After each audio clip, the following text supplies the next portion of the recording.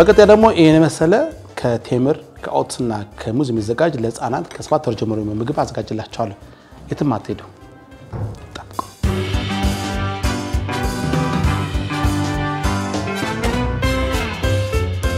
አሁን ደግሞ ለህፃናት የሚሆን እድሜያቸው ከሰባት ወር ጀምሮ ለሆኑ ህፃናት የሚሆን ምግብን ከተለማመዱ በኋላ የበለጠ ለጤናቸው ለአጥንታቸው ላይ ምሯቸው እድገት በጣም የሚያግዛቸውን ለቁርስ የሚሆን ምግብ አዘጋጅላቸዋለሁ። ዋነኛ ግባታችን ላስተዋወቃችሁና ወደ አሰራሩ እንሄዳለን። የኦትስ አለን አጃ እንደዚህ የዘጋጀ ታሽጎ የሚሸጥ አጃ እናዘጋጃለን። ይሄ ደግሞ የተበጠበጠ የቆርቆሮ ወተት ነው። እሱ አዘጋጅቻለሁ። እንግዲህ ወተቱን ማስታወቂያ እንዲያውን ነው። እዚጋ እንግዲህ ሙሉ ወተቱን ማላቀርብላችሁ በቅጠን ነው የምናዘጋጀው። እዚህ ጋር ደግሞ የቴምር አለን። ቴምር ግባታችን ነው። ሌላው ግባታችን ደግሞ ሙዝ ሙዝ እናዘጋጃለን። በዚህ እንግዲህ ቆንጆ ለቁርስ የሚሆን ለህፃናት የተዘጋጀ ምግብ አሳያችኋለሁ ማለት ነው። እሺ እንግዲህ በቀጥታ ወደ አሰራሩ እንገባለን። እዚህ ጋር መጥበሻ አዘጋጅቻለሁ። አጠገቤም ተፈልቶ የቀዘቀዘ ንጹህ ውሃ ያስፈልጋል። እሱን አዘጋጅቻለሁ። እዚህ ጋር ምንም አይነት ተጨማሪ ጣዕም አንጨምርም። ሙዝ ውስጥና ቴምር ውስጥ ያለው የስኳር መጠን በጣም በቂ ስለሆነ ምንም አይነት መጨመር የለባችሁም። ቀጥታ እንግዲህ ውሃ ጥድና oats ኡን ወይ ደግሞ አጃውን በውሃ አበስለዋለሁ። ከበሰልኝ በኋላ አቀዘቅዘውና መፈጫ ማሽን ውስጥ ከጨመርኩት በኋላ ቴምር፣ ሙዝ እና ወተት ጨምሬ ፈጭቼ እንዴት እንደማቀርብ ትመለከታላችሁ። ከኛ ከሆኑ እሺ። የመጀመሪያ ስራችን የሚሆነው ሻን ጥደን ውሃው እንዲፈላ ማድረግ ነው። ውሃ በቡና ሲኒ አንድ አካ ይሆናል። እንዲህ ካረግን በኋላ ምንጊዜም እንደዚህ መጥበሻ ስትጠቀሙ እንግዲህ እንዳይፈቀፈቅባችሁ የምታመሱበትን እንደዚህ የሚያይፈቀፍቁ ብረት ከብረት ነፃ የሆኑ የመገልገያ እቃዎች እንዲጠቀሙ አደራላችኋለሁ። ይሄኛው የመጥበሻው ክፍል ከተላጠ ማንኛውም ምግብ ሰሩ የማጣበቅ ባህሪ ያመጣባችሁና የምግባችሁንም ቃና ያበላሸዋል፣ ውበቱም ይበላሻል። ደስተኛ ሳትሆኑ ትቀራላችሁ። ስለዚህም ጊዜም እንዲህ እንዲሆን አትፍቀዱ። ስለዚህ ማንኪያ ጠቀምና እዚህ ጋር አንድ ሾሮ ማንኪያ ተኩል ያክል ከአጃው ጨምርና አብር በደንብ አበስለዋለሁ። ካበሰልኩ በኋላ እንግዲህ ቀጥታ ወደ መፍጫ የምጨምረው። በነገራችን ላይ እዚህ ጋር እንደምታዩት ውስጡ ከፍታችሁ ታዩት ምንም አይነት ፍሬ የለውም። አስቀድማችሁ ፍሬው ማውጣታችሁ እንዳትዘነጉ ማውጣት አለባችሁ። አዋ ፈልቷል። ውሃ እንደፈላ እንደምትመለከቱት አንድ ሾሮ ማንኪያ ተኩል ያክል አጃ ወይም ኦትስ ጨምራለሁ። እሱ እንዲተከተክ እንዲፈላ እንተዋለን ማለት ነው። በደንብ መብሰል አለበት። በደንብ ካልበሰለ ትንሽ ህፃናቶችንም ወዳቸውን የመቁረጥ ነገር ስለሚያሳይ ስለሚከሰት ብቻ ላቅም ወዳቸው እንዳይቆርጣቸው። እንደምታዩት ኦትሱ ወይ ደግሞ አጃው እየበሰለ ነው ያለው። ውስጡ እንግዲህ ከፍተኛ የሆነ ስታርች ስላለው ቶሎ የመወፈር ባህሪ ያለው ለልጆች በጣም ወሳኝ የሆነ ግብአት ውስጡ አለው። አጃ በጣም ጥሩ ነው ለልጆች። አንደምታው እሳቱን ቀንሼ ነው እያበሰልኩት ያለሁት። ቶሎ ቶሎ በመተክተክ ሳይሆን እሳት በደንብ ገብቶት እንዲበስል ነው እንጂ ከላይ ከላይ እሳት እንዲነድበት ማድረጉ ምን ብዙ ጥቅም የለውም። ትንሽ እሳት ላይ እናቆየዋለን። በነገራችን ላይ ህጻናትን ስትመግቡ ሁል ጊዜ ንጽህናችሁን በጣም መጠበቃችሁን እንዳትዘነጉ።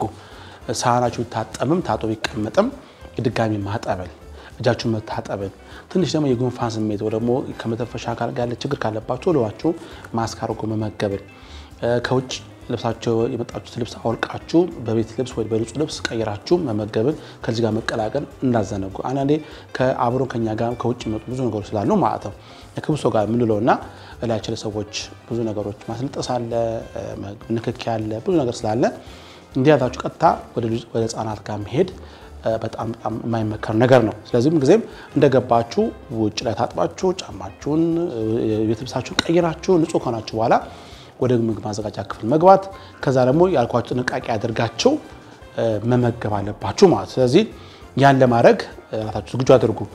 እሺ እንግዲህ አሁን እንደፈለጉት ሆኖ ደርሶልኛል እንደምታዩት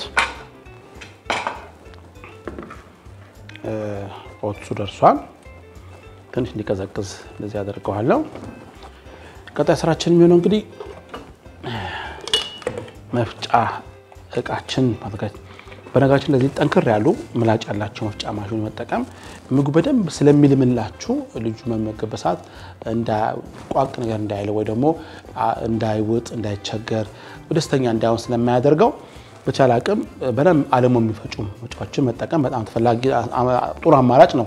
ያ ደግሞ እንደዚህ አይነት ቴምብሮ ስጠቀሙ የበለጠ ደግሞ አቅም የሚፈልጉ በደንብ መፍጫዎቻችሁን ምርጫ ላይ ጥንቃቄ አድርጉ። እሺ አሁን ቀጣይ ስራችን የሚሆነው ከዚህ ከቴምር ላይ ሶስት በቁጥር ያክል ወስዳለሁ ማለት ነው። አንድ ሁለት አንድ ሶስት በቁጥር ወስጃለሁ።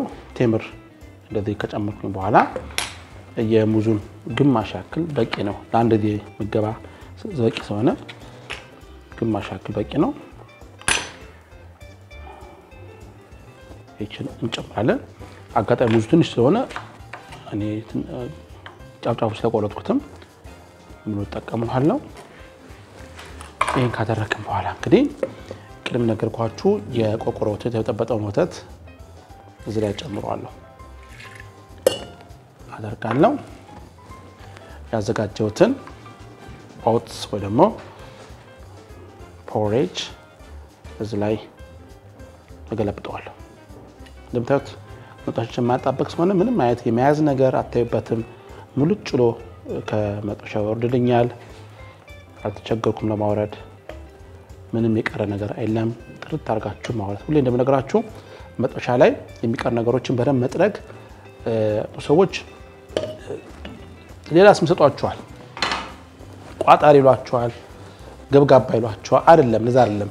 ጥርግ አድርጎ ማውረድ ማለት ወደ መጥበሻችሁ ወደ ሲንክ ላይ በሚሄድበት ሰዓት ከዚህ የሚወዱ ተረፈ ምርቶች ሁልጊዜ ወደ ሲንኩ ቀዳዳ ውስጥ ይገቡና ይሰበሰቡና ድንገት ነው ሲንካቸው የሚዘጋው። ስለዚህ ምን ጊዜም ተረፈ ምርቶችን፣ ጥራጥሬዎችን፣ የአትክልትና የፍራፍሬ ፍሬዎች፣ ዘሮች በአጠቃላይ በሙሉ ወደ ጋርቤጅ ወይ ደግሞ ወደ ቆሻሻ መጣያ ላይ በደንብ አራግፋችሁ ምግቦችን ደግሞ ጥርግ አድርጋችሁ ወደ ሳህን ጠራርጋችሁ ወደ ድስት ድሮ እናቶቻችን እኮ ድስት ሲያጥቡ እኮ በድስቱም በዳቦ በእንጀት ጥርግ የሚያውቁት ለመመገብ ብቻ ሳይሆን አንዳንዴ ምግቡ መጣል ስለሌለበት በንጽህና እቃ ለማጠብ እንዴት ስለመች ነው።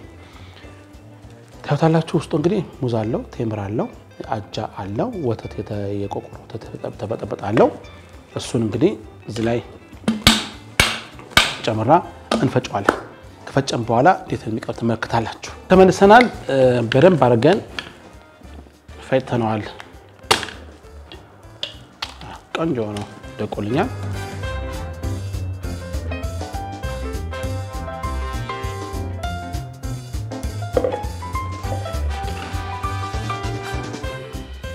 እንደምታዩት ቆንጆ የህፃናት በቀላሉ ከሰባት ወር ጀምሮ ለዋሉ ህጻናት በቀላሉ የሚውጡት የሚችሉት ወደ አጎሯቸው በጣም ሊገባ የሚችል ቆንጆ የቴምርና የኦት የሙዝ ቅንብር ነው። ይህን እንግዲህ ቤታችሁ ሰርታችሁ እንድታበሏቸው ጋብዛቸዋል። በዚህ አይነት ቅንጅት ደግሞ ገበያ ላይ የሚሸጥ ምግብ አለ። የታሸገ ቴምር፣ ሙዝ እንደዚህ ያለ ተብሎ ሩዝ፣ ቴምር እየተባለ ይሸጣል።